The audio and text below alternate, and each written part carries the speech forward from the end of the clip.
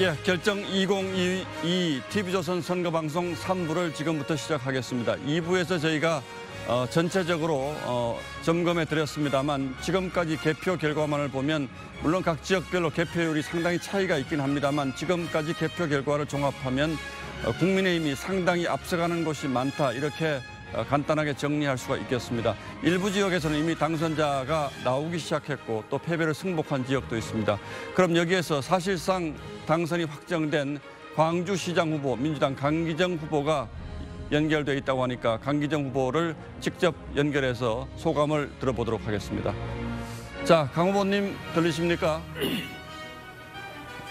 네, 안녕하십니까. 강기정입니다. 예, 뭐 아직 개표가 끝난 건 아닙니다만 먼저 축하 말씀을 드리겠습니다. 광주는 어, 본선거보다 경선이 네, 이제 더. 어렵다 뭐 이런 말도 있습니다만 아무래도 선거 전 자체는 좀 힘드셨는지 목이 많이 쉬셨군요. 선거전은 어떻게 치르셨습니까?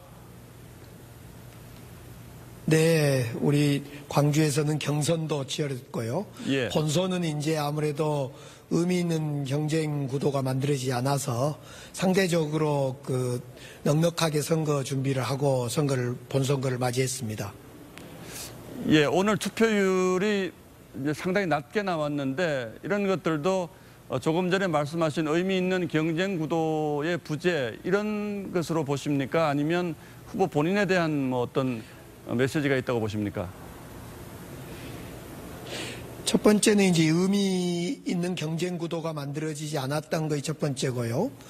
두 번째로는 이제 지난 대선 때 광주에서 이재명 후보, 우리 민주당 후보에게 84%라는 전국의 최고 높은 투표율, 지지율을 보냈는데, 어, 패배하고 만 이후에 상실감이 컸습니다. 그래서 그런 상실감에 따른 어떤 시민들의 어, 문제, 아니, 상실감, 그 다음에 조금 전에 말씀드렸던 의미 있는 경쟁 구도가 이루어지지 않은 점, 이런 두 가지 점이 최저 투표율을 기록하게 만든 것 아닌가, 이렇게 생각합니다.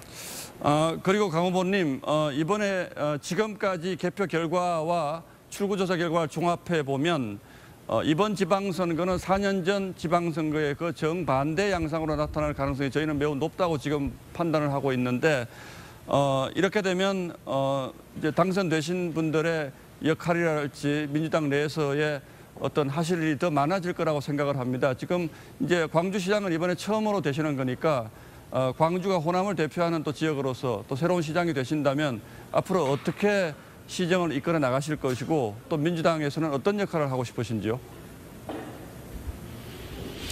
아무래도 시민들께서는 하나는 빠른 광주의 변화, 광주의 발전을 위한 어, 시장을 원하고 있고요. 또 하나는 민주당을 혁신시키는데 민주당의 아주 구심이 호남, 광주이다 보니까 민주당을 혁신시키는데 역할을 해달라 이런 주문을 실제로 선거 과정에서 주셨습니다. 그런 만큼 광주의 변화와 민주당의 혁신의 과정에 에, 어, 역할을 통해서 광주 시민들에게 어, 다시 한번 민주당을 사랑받을 수 있도록 노력을 하겠습니다. 예, 알겠습니다. 마지막으로 한 가지만 더 여쭤보겠습니다. 최근 5.18 민주화 기념식에 윤석열 후보와 지금 현 여권 어, 고위층에서 대거 내려가서 어, 지역 통합 또는 어, 영원한 화해의 제스처를 보였는데 앞으로 시장이 되신다면 어, 영원한 화해 문제에 대해서 어떤 어, 혹시 보관을 가지고 계신 게 있, 있는지요?